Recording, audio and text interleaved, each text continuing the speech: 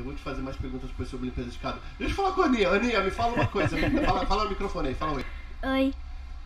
E aí, você tem que série na escola? Ah, quinto ano. No quinto ano. Você, quanto tempo você chegou aqui? Tem três anos?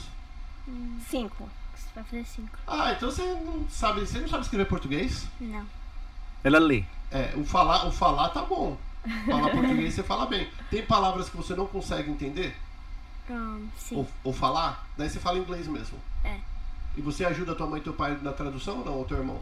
Ajuda. Pior que com você não dá nem pra comparar nada. Deixa eu fazer uma pergunta. Você já tomou bullying na escola? Não.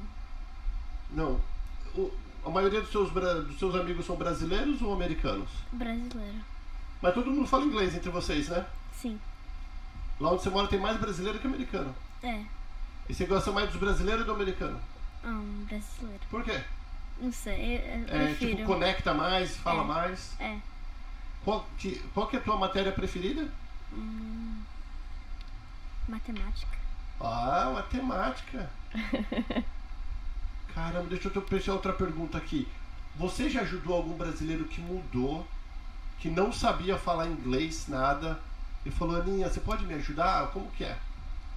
Eu ajudava. Tipo, traduzia e mostrava como eram as coisas. E ajudava. Mas ajudava de boa ou tipo, ai que chatice?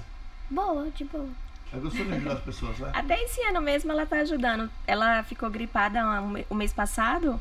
Aí não foi pra escola, ela falou: "Ai, mãe, eu tô preocupada com a minha amiguinha que ela vai estar lá, ela não vai ter ajuda". Não foi, Ana? E chega bastante, e chega bastante brasileiro, né, Ana? Sim.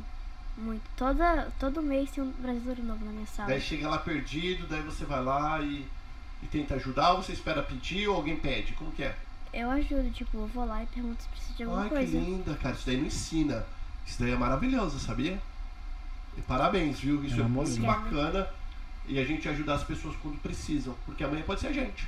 Né? E você sabia que você ajudando uma brasileira ou uma pessoa que precisa, são outras pessoas ajudando sua mãe, ajudando sua avó, ajudando seu pai. É assim que Deus abençoa a gente. A gente abençoa um e aí Deus abençoa a gente com outras pessoas queridas na nossa família. É bem bonito isso que você está fazendo. Parabéns, viu?